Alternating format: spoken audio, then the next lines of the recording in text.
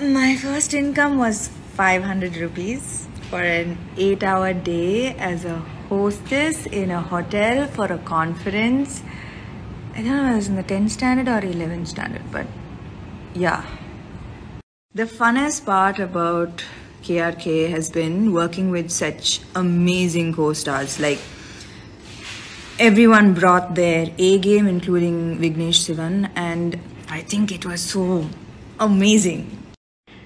My favorite genre is romantic comedies, so I'm really glad that after a while I'm doing something like this and it's really fun.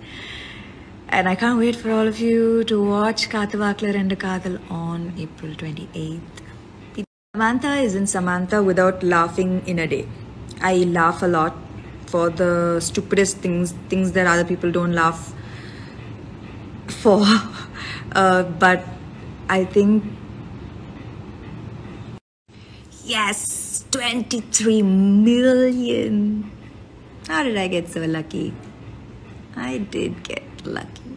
So lucky. Thank you. Oh, I'm so glad somebody asked. I need to explain my pain. This took six months to heal. It's, I don't know why I did it, but it takes forever. You know, the one thing I would tell my younger self is never ever get a tattoo. Never ever. Ever. Get a tattoo. Don't ever doubt yourself. Uh, don't let anybody make you doubt yourself. Don't let anyone ever tell you you're not good enough. Follow your dreams. Don't feel guilty. Kanmani and Khatija. No Kanmani without Khatija, and no Khatija without Kanmani.